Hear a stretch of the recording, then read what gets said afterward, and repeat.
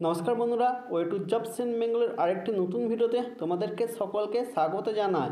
Public service commission West বেঙ্গলের মাধ্যমে food SI রিক্রুটমেন্টের জন্য অফিসিয়াল বিজ্ঞপ্তি প্রকাশিত হয়েছে। তোমরা যারা ভারত নাগরিক, অর্থাৎ পশ্চিমবঙ্গের যে কোনো জেলা থেকেই আবেদন করতে পারবে। এর জন্য কিন্তু শর্ট নোটিফিকেশন প্রকাশিত হয়েছে। এই যে ফুড এসআই নিয়োগ হতে চলেছে, তাতে কি যোগ্যতা লাগবে এবং বয়স কত হতে হবে এছাড়া সিলেবাস কি থাকবে? এ টু জেড আলোচনা করব এই ভিডিওর মাধ্যমে। তাই বন্ধুরা সম্পূর্ণ ইনফরমেশন পাওয়ার জন্য অবশ্যই ভিডিওটি প্রথম থেকে শেষ পর্যন্ত দেখবে। আমাদের চ্যানেলে নতুন হয়ে থাকলে অবশ্যই চ্যানেলটিকে সাবস্ক্রাইব করে পাশে থাকা বেল আইকনে ক্লিক করতে ভুলবে না।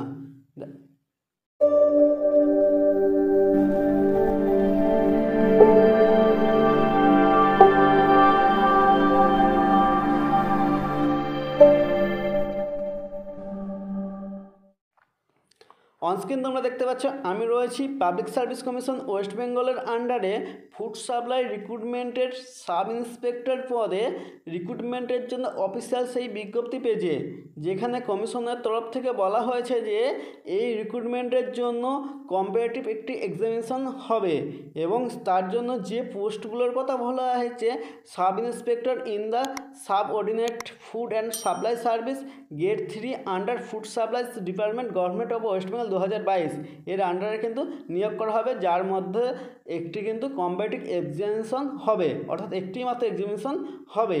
এর জন্য তোমাদের যে ডিটেলস ইনফরমেশন লাগবে, সেগুলো পরবর্তী নোটিফিকেশনে কিন্তু বলা হবে।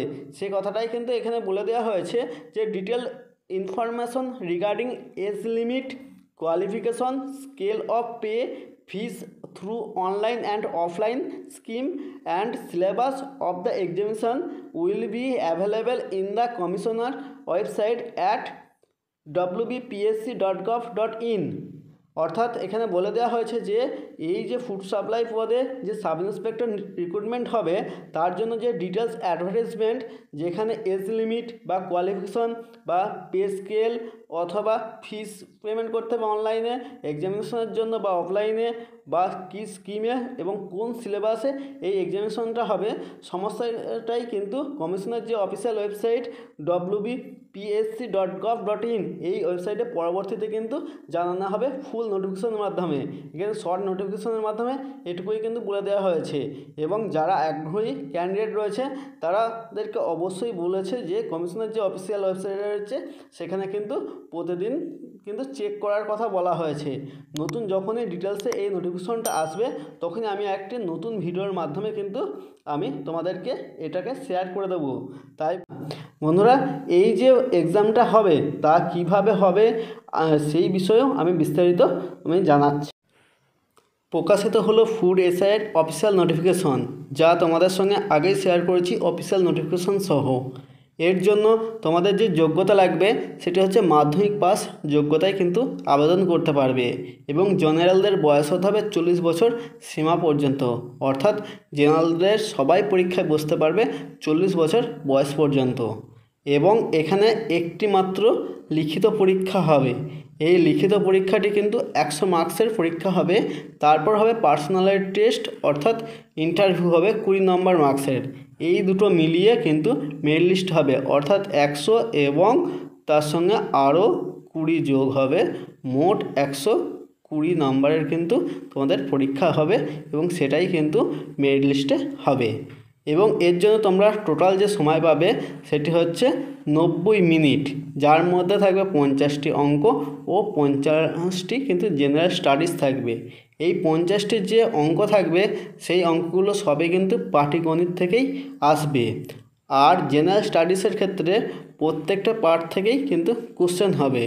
যেমন ইতিহাস অর্থাৎ হিস্টোরি জিওগ্রাফি পলিটিক্যাল সায়েন্স এবং ইকোনমিক এবং জেনারেল সায়েন্সের মধ্যে ফিজিক্স কেমিস্ট্রি বায়োস এবং এনভায়রনমেন্ট এবং এছাড়া তোমাদের যে কোশ্চেন থাকবে সেটি হচ্ছে কম্পিউটার থেকে ও স্ট্যাটিস্টিক জিকে থেকেও কিন্তু থাকবে কুড়ি থেকে পঁচিশটি টপিকের ওপর। এছাড়া যেটা আরও বলা হয়েছে, অর্থাৎ এখানে যে ইডাব্লিউএস সেই ছাড়ের কিন্তু কোনো সম্ভাবনা থাকবে না। কারণ সরকারি কোনো সার্কুলেশন এখনও প্রকাশ করা হয়নি। আপাতত এখানে যে ভ্যাকান্সি রয়েছে, সেটি ছশো পঞ্চাশ প্লাস এবং তারপরে আরও কিন্তু বাড়তে পারে। কিন্তু আপাতত মনে করা হচ্ছে যে ছশো পঞ্চাশ প্লাস ভ্যাকান্সি কিন্তু হবে এই ফুড এসআইএ নিয়োগের জন্য। এবং আশা করা যায় ষোলো মেয়ের মধ্যেই সম্পূর্ণ নোটিফিকেশন চলে আসবে। যখনই সম্পূর্ণ নোটিফিকেশন আসবে, তখনই তোমাদের সঙ্গে ডিটেলসে আমি আলোচনা করে দেবো। তাই আমাদের চ্যানেলে নতুন বন্ধু হয়ে থাকলে অবশ্যই চ্যানেলটিকে সাবস্ক্রাইব করে পাশে থাকা বেল আইকনে ক্লিক করতে ভুলবে না। কারণ সবার আগে সমস্ত তথ্য পাওয়ার জন্য জব রিলেটেড অবশ্যই তোমরা এই চ্যানেলটিকে সাবস্ক্রাইব করে পাশে থাকা বেল আইকনে ক্লিক করতে ভুলবে না। বন্ধুরা, দেখা হবে আবার এক নতুন ভিডিওতে ভালো থাকবে, সুস্থ থাকবে।